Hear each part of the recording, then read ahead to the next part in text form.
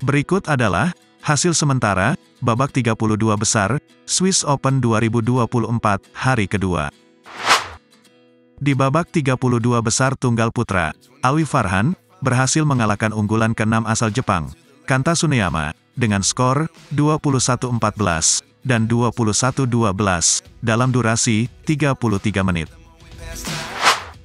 Di babak 32 besar ganda putra, Muhammad Sohibul Fikri, Bagas Maulana, berhasil mengalahkan wakil China, Huang Di, Liu Yi, dengan skor 21-16 dan 21-18 dalam durasi 42 menit.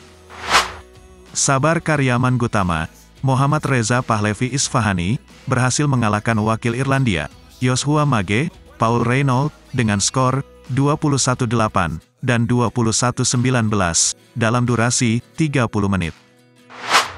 Di babak 32 besar ganda putri, Febriana Dwi Puji Kusuma, Amalia Cahaya Pratiwi, berhasil mengalahkan ganda putri beda negara, Natasha P. Antonisen, Alisa Tirto Sentono, dengan skor 21-16, 20-22, dan 21-18, dalam durasi 1 jam 16 menit. Melisa Trias Puspitasari, Rachel Alicia Ross, harus kalah dari unggulan ke-6 asal India, Tanisa Krasto, Ashwini Ponapa, dengan skor 18-21, 21-12, dan 19-21, dalam durasi 1 jam 25 menit. Di babak 32 besar ganda campuran, Dejan Ferdinandsyah, Gloria Emmanuel Wijaya, berhasil mengalahkan ganda campuran Inggris, Marcus Ellis, Lauren Smith, dengan skor 21-12 dan 21-10 dalam durasi 35 menit.